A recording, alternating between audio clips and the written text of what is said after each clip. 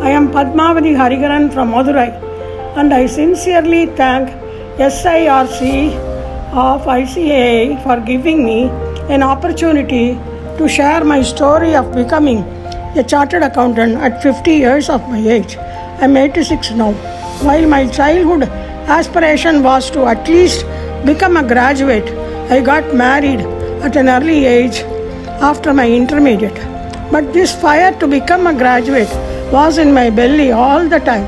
In the year 1977, at the age of 42 years, while in Madurai, I could fulfill this dream of becoming a graduate by doing BCom through distance education program of Madurai Kamaraj University. Looking at my passion for studies, Sri Sri Manian, chartered accountant, encouraged me to join CA, a course that were considered tough and even youngsters had a challenge. Looking at my hesitation, he encouraged me to join MCOM but also simultaneously try CA. So I joined CA at the age of 45 and completed at the age of 50, clearing all the groups one by one in first attempt. Being married and mother of three children, I had to undergo a lot of challenges to keep pace with the course and prepare for myself examinations. For my examinations, I used to manage entire household chores, take care of my children, and study by writing case laws and mathematics formulas on the walls of my house for easy reading and memorizing while cooking in the kitchen. There were days when I used to lock the house and study to avoid disturbance from neighbors. There were days when I used to write two exams on a single day CA in the morning and MCOM in the afternoon.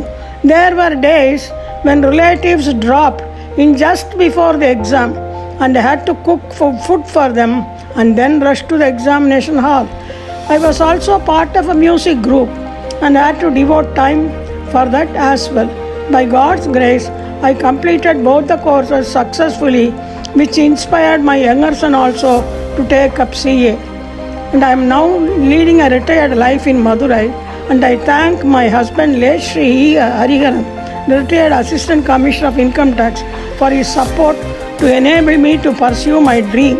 I also want to place on record the support and encouragement I got many like auditor CVS Manian, auditor R. Sridharan, now popularly known as Varalotti Rengasamy, and late auditor Mantramurthy.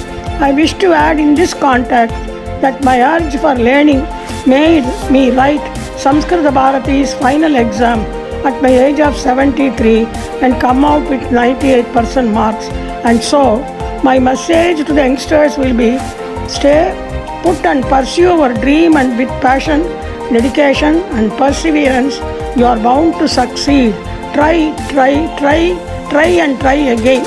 Thank you.